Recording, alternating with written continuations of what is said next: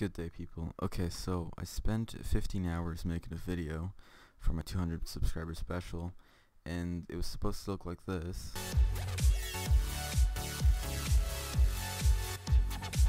You get the idea. And when I rendered it, okay, after 15 hours of editing, it kind of looked like this.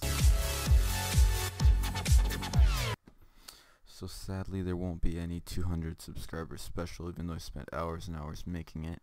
Um, I just want to say thanks for subscribing, and, um, yeah, I'm switching to Premiere. Anyway, thanks for watching. Until then.